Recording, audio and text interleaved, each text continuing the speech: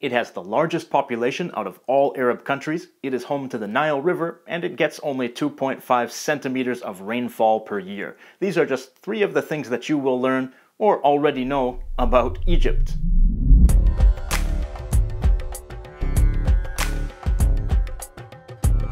Hello everyone, welcome to the GeoFocus channel and my name is Paul. Today I'm going to be talking about Egypt.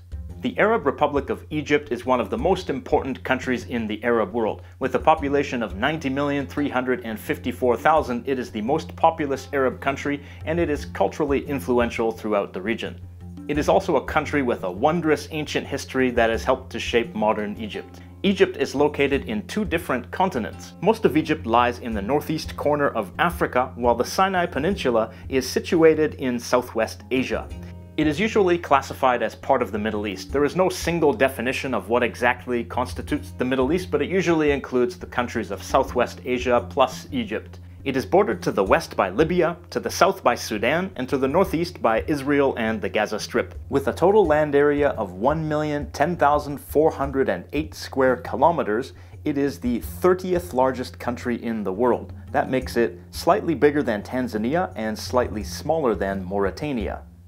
Much of Egypt is covered by the Sahara Desert, which makes most of the country dry and uninhabitable. There are a few oases punctuating the desert, but most of Egypt's population lives along the Nile River, which flows 1,600 kilometers throughout Egypt. The Nile, which is commonly thought to be the longest river in the world, supplies the majority of Egypt's water. It is really the only thing allowing for agriculture in Egypt because Egypt gets very little rainfall.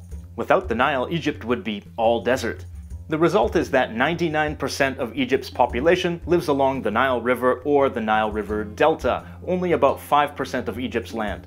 That makes the Nile River Valley and Delta one of the most densely populated areas in the world. The Nile River Valley and Delta constitute one of Egypt's major regions. The other regions are the Western Desert, also known as the Libyan Desert, the Eastern Desert, and the Sinai Peninsula.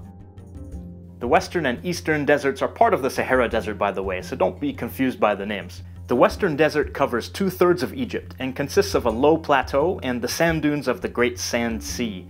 It is largely uninhabited, with little vegetation except for a number of oases which receive fresh water from the Nile or from local groundwater sources.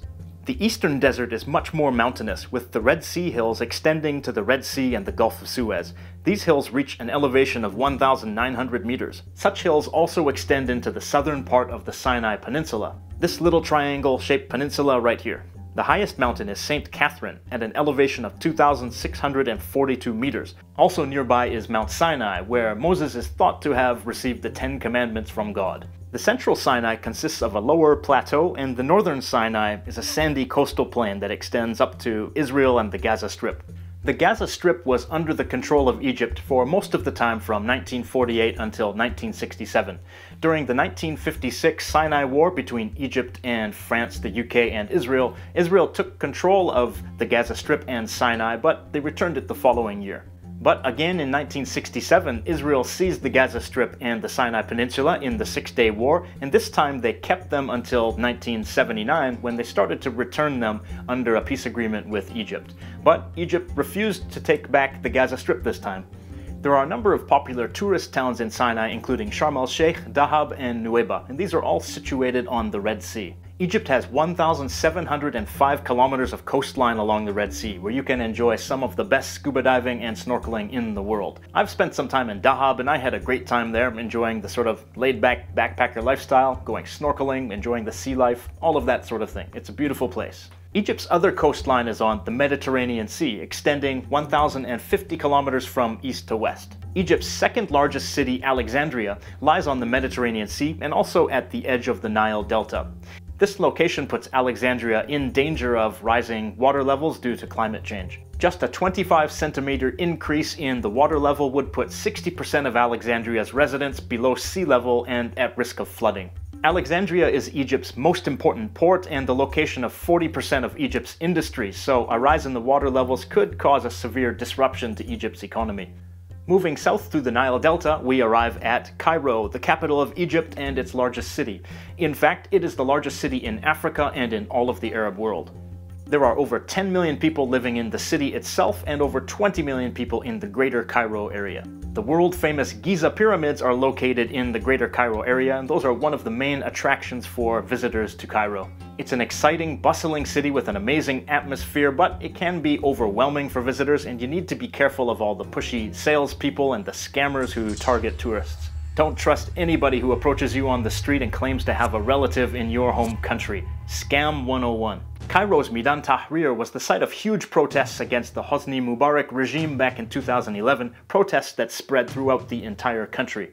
In the end, Mubarak was ousted and a military government took over. Then Mohamed Morsi, who was a member of the Muslim Brotherhood, won an election and became the first democratically elected president in Egypt's history. But Morsi was ousted by the military back in 2013. That's right, first the military ousted Hosni Mubarak and held elections, and then they ousted the man who won the elections. Confusing, I know. About 90% of Egypt's population is Muslim, and 9% are Coptic Christians, and about 1% are Christians of other denominations.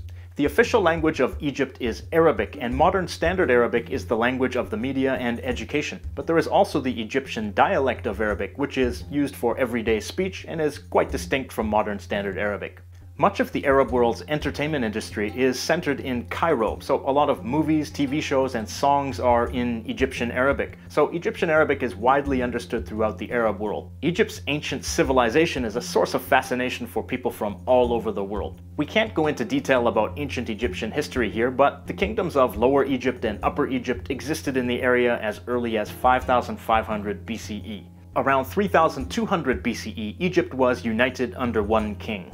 Egyptian kings were known as pharaohs and were thought to be living gods. Because of Egypt's dry climate and its stone architecture, today Egypt still has a lot of remnants of its ancient history. The Giza pyramids, Luxor, and Aswan are some of the biggest attractions for visitors to Egypt. When's the best time to visit Egypt?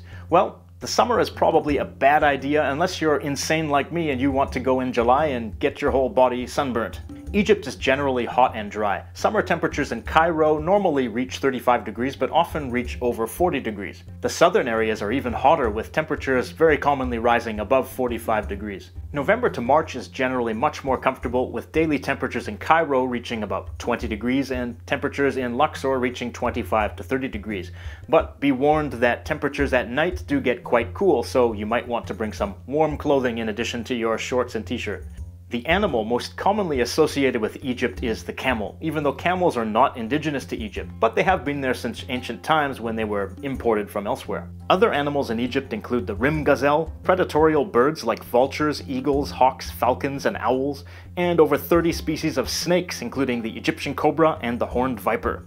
But don't be scared of the snakes or the scams or the political situation of Egypt. As long as you do your homework and you study up on the situation before you go and you know the risks, then you will know how to protect yourself and you will be able to enjoy the beauty and majesty of Egypt, both ancient and modern. Thank you for watching the GeoFocus channel. Have a nice day.